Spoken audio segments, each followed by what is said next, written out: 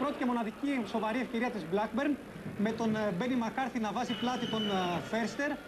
Βλέπετε η μπάλα χτύπησε στο κεφάλι του αμυντικού της Λάρισας. Δεν υπήρχε άλλος κίνδυνος. Αυτά είναι και η μοναδική, επαναλαμβάνω, καλή στιγμή της Όταν λες Αλέξη ότι είναι η μοναδική ευκαιρία και η Λάρισα έπαιζε με την Blackburn, καταλαβαίνεις τι παιχνίδι έκαναν η Θεσσαλή, έτσι. Από εδώ Όταν ξεκινάμε, κατάφεραν να Γιάννη. κάνει μόνο μόλι μία ευκαιρία οι Άγγλοι. Από εδώ ξεκινάμε με τη βοήθεια του Φοβερό γκολ, Μπακαγιώκο. φοβερό.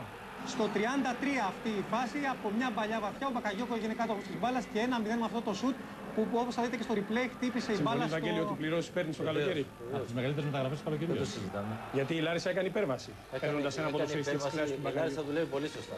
Ναι. Δουλεύει από τον πρόεδρό της μέχρι τον προπονητή της, μέχρι τον τελευταίο που δουλεύει εκεί, δουλεύει πάρα πολύ σωστά. Και σε αυτό το κομμάτι το μεταγραφικό δείχνει ότι έχει σοβαρότητα. Τον ότι έψαχνε έχει μέχρι ψυχραιμία. τελευταία μέρα. Βεβαίως. Δεν έπαιρνε ότι και Βεβαίως. ότι έψαχνε Μα, κάτι ο- Δεν καλό είναι μπροστά. τυχαίο ότι όποιον παίρνει ε, έχει και καλή απόδοση και διακρίνεται. Εδώ είναι το και- λάθος. Να σας διακόψω γιατί εδώ είναι το δεύτερο γκολ. Αμέσως στη φάση από το λάθος, φάση διαρκείας εδώ. Η μπάλα φτάνει πάλι στον Μπακαγιώκο που δεν μπορεί να σουτάρει τον κοντράρουν οι αμυντικοί και τελικά ο Σίλβα Κλέιτον από εδώ πολύ πλάγια, πολύ δύσκολο γκολ. Πολύ Θα φανεί και στο εξυπνική ροπλό στο στο Βεβαίως, στο αυτός replay. είναι Καλός παίκτης. Πολύ ωραίο Τρεις πλασέ. έκτε στην αιστεία.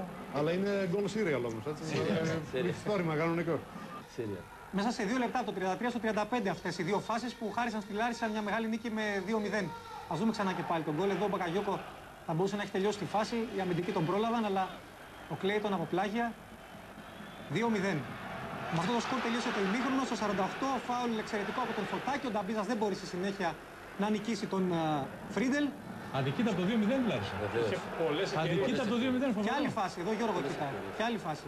Και φάση Σύρια Τελευταίο όπως σουτ είπε από ο τον Σπυρόπουλος. Σαρμιέντο εδώ. Για Φάση μια ομάδα διαρκείας που θα έχει συνέχεια. από την Premier League.